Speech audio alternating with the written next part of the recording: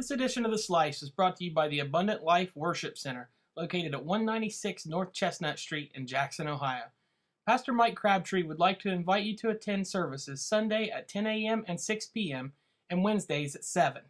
Also, be sure to check out the Abundant Life Worship Center's page on Facebook. Special thanks to the Abundant Life Worship Center for sponsoring this edition of The Slice. Hi, I'm James Hamilton, and welcome to The Slice. Foot chase ends in a race. in the sky spots marijuana. Road show is in town seeking treasures. Relay for life set. Wellston announces bus routes for the upcoming school year. The Jackson Football Mothers Club is inviting the Jackson community to its Meet the Team night on Thursday, August 18th at Alumni Stadium.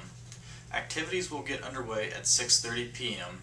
There will be performances by the Jackson High School Marching Band and the Jackson High School Cheerleaders.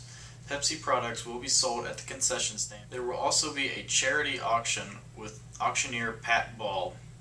The freshman chair is an Amish swing theme. The sophomore chair is an Ohio State theme. The junior chair is a back to school theme, and the senior chair is an Ironman theme. Football season are now available. The reserve seats will go on sale starting on Thursday, August 11th at 6 p.m. until 8 p.m.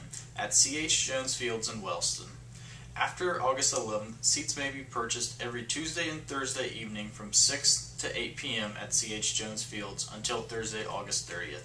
These times and dates have been set up to try and avoid as much confusion as possible, while still allowing current seat holders many opportunities to claim their current seats. After August 30th, Current seat holders which have not renewed seats will have those seats go on sale to the general public. There are currently no available seats for first time purchases and availability will not be known until after August 30th and after all current seat holders have been given the opportunity to renew. All requests for new seats will be honored in the order they are received and purchases will be completed by the first home game.